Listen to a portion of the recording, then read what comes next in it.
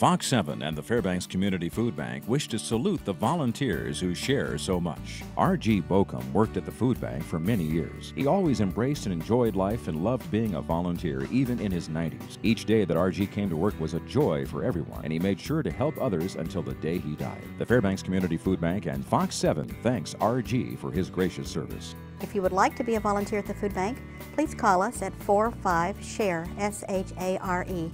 We need and appreciate you.